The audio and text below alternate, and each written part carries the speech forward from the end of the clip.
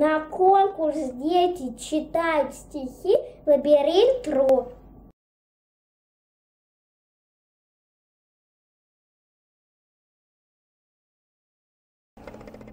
Михаил Елисеев.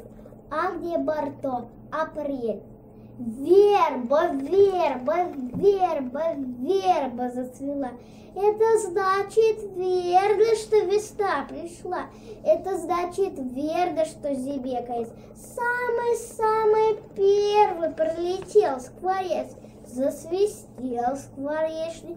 Ну, теперь я здешний, но весне не верьте, слышим ветросвист.